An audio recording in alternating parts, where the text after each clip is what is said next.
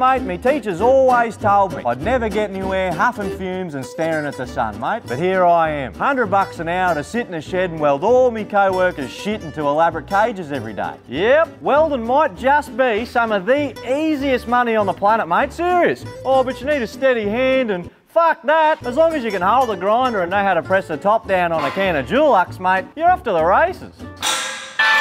Serious, mate, there isn't a single in that actually knows how to weld. Everyone just understands that as long as you return to the scene of the crime with the flappy disc and a bit of Sikaflex, no one can fucking tell the difference. All right, now this bastard's ready to be sent off to Qantas Airlines. Hmm.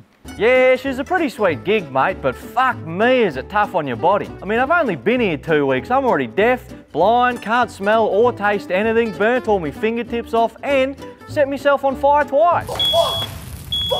You're gonna make it, mate. You're gonna make But honestly, if you want an easy way to know if a job's for you, mate, just take a look around the workshop of some of the older blokes, you know? See what 20 years on the job does to you. You know, the old boilermaker in the corner, you can't understand a fucking word he's saying because he's just raw dog 30 years worth of carcinogenic fumes up the nostrils. Coming in every morning with the shakes from the alcohol withdrawals, the only way you can get a decent weld out of him is to oil him up like the fucking Tin Man. Yeah, being in the shop's good and all, but if you're after some real coin, mate, and you can hack it, that is, being out on site's the place to be.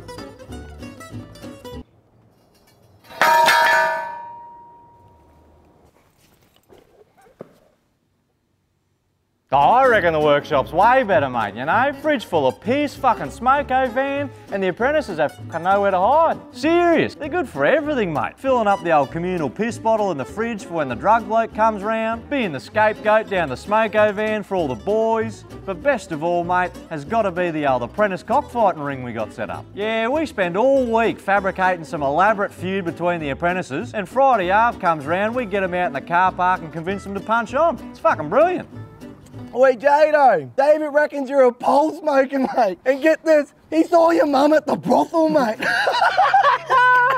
Oh, oh, shit. fuck, no, no, no, no, no. Got him, mate. Come on, come on, give him one. What did he say about your mum, mate? Oh, I got money on Jado. Money on f- that, man. I'm all in, all in on Big Dave, mate. F- that. Look at the size of him. Oh, oh damn, David. Oh, woohoo!